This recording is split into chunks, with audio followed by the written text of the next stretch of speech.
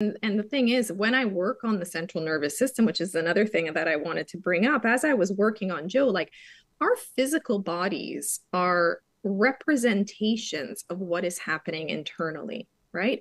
So when I saw all of this, all of these muscles being pulled in this particular way, like it was painful to watch for me because it's so aggressive how the body can just switch and doesn't let go. It doesn't let go. And I have a visual of what is happening inside based on what the physical body is telling me. So it's like, Joe, I don't know, but does this make sense to you? What is it that you have to let go of? Are you holding on to something in your heart right now that is weighing on your heart? What comes to mind? What is the first thing that comes to your mind? All while, by the way, I'm still working on him physically.